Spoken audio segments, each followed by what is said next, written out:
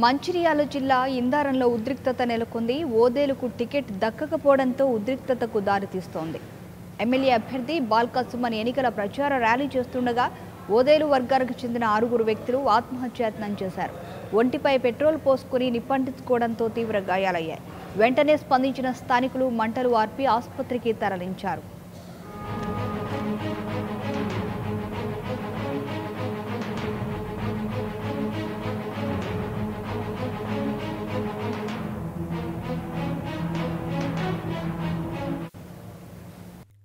For more updates please subscribe ninety nine TV Telugu